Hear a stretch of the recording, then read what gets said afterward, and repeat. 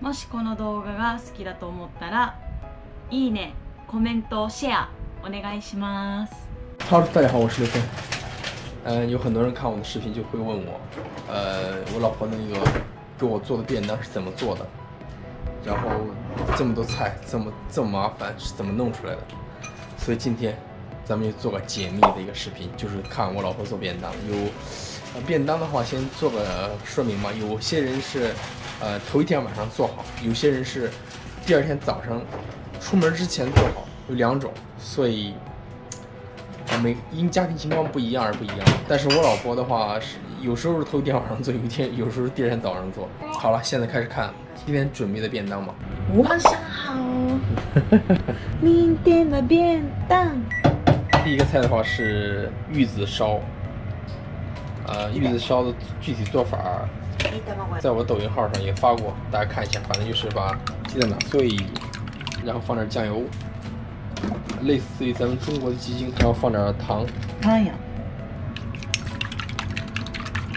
起锅烧油。这个是专门做玉子烧用的锅，它只不过是个四方，呃，算是个长方长方体吧，不能油太多了，所以要就是把锅润一下，然后先浇一层，就是 先浇这一层，適当な先把这一层就是玉子烧的话，就是一层一层的鸡蛋卷起来叫玉子烧，就是玉子的话，就是在日文里边叫就是卵子ちょっと卵。どいて好，这是第一层，然后卷一下，看见没有？这是玉子烧，然后依依次类推，然后在第二层，然后再把它分开，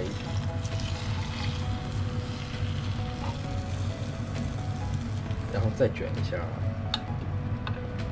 这个一直烧难度难在油上，油放的太多的话腻，油放的少的话粘锅。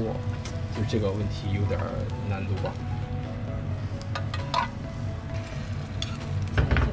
因为我明天就我一个人吃，所以就用一个鸡蛋。如果人多的话，可以多用点鸡蛋，多煎一点，多煎厚一点也行。哦，一了一了一箩，颜色不错，颜色不错。好，玉子烧成啊。香肠，一点香肠那边五根儿何，五根儿小的。もう出さ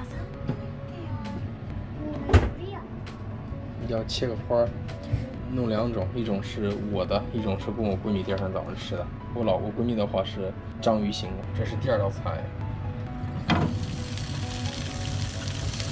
香肠煎好了， 看这是章鱼香肠，这是螃蟹香肠，这是一般的香肠，花儿型香肠。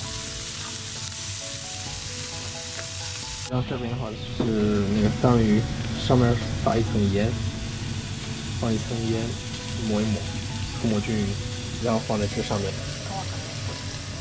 先烤皮。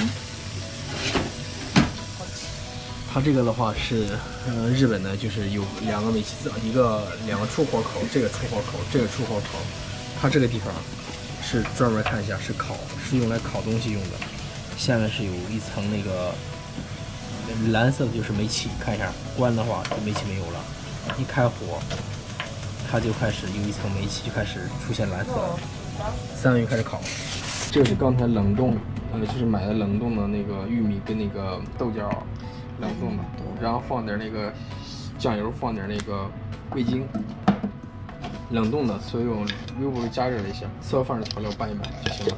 好了，我的饭已经准备好了，下面是米饭，这个是那个三文鱼，还有一个水果，饭后甜点橘子，这个是刚才做的那个玉子烧，还有香肠，还有冷冻的炸鸡块，还有这个也是冷冻食品。这个是那个鸡蛋，这个的话是小番茄圣女果，这个的话是刚才做的那个。所以在日本做便当的话不是那么难，因为有很多冷冻食品可以让你选择。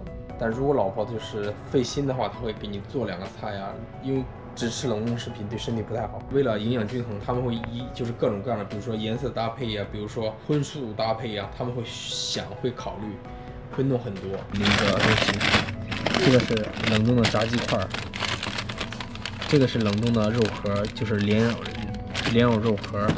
这个是冷冻的那个是就是 yakisoba，就是炒面。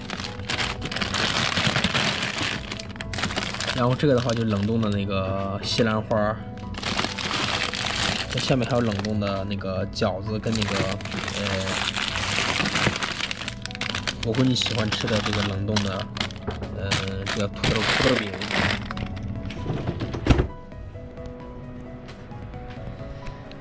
好了，反正是每个国家就都有每个国家的那个文化不同吧。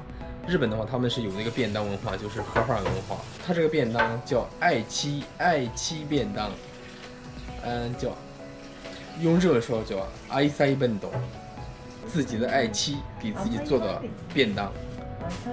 好了，这期视频到这儿了，喜欢的视频点一下关注，期待你的一键三连，我们下期见，拜拜，拜拜。